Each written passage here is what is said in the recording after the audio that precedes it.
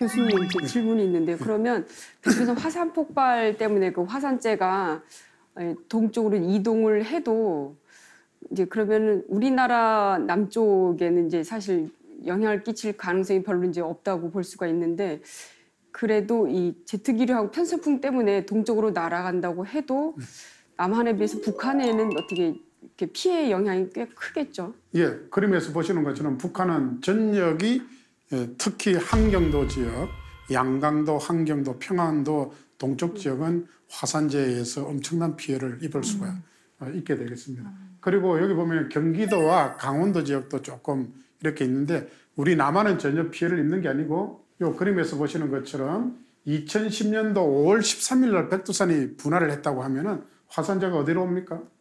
원산을 지나서 서울 쪽으로 와서 이렇게 가죠. 그러면서 이렇게 휘어져서 동쪽으로 가죠. 그러니까 이런 경우를 이제 worst case, 최악의 시나리오다. 그래서 우리 대한민국 남한에도 화산재가 올 수 있다는 게 이제 이거는 수치 모의 결과 여기서 이제 실시간 기상장에 그날 화산 분화가 있었다고 가정만 한 겁니다. 그래서 이제 이런 것들이 일어날, 일어날 수가 있고 최악의 시대. 그래서 이런 기록이 1653년 11월 29일 조선왕조실록에 한경도에서부터 뭐가 검은 기운이 몰려왔어요. 그래가지고 적성 장단 어딘가 아십니까? 서울의 적성 장단 파주 지역 의정부 북쪽에 거기로 이렇게 왔는데 있는 것처럼 비 같기도 하고 비도 아니고 연기 같기도 한데 연기도 아닌 게 냄새는 비린내가 약간 나더라. 유황 냄새가 좀 나더라.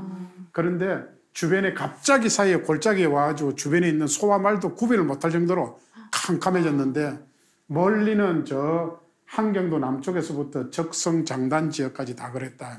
그래서 이제 이게 이제 역사 기록에 있는 거기 때문에 그래서 백두산이 폭발적으로 분화하더라도 대부분 다 화산재는 동쪽으로 한경도를 통해서 일본 쪽으로 가지만은 남한 쪽으로도 올 가능성이 있다.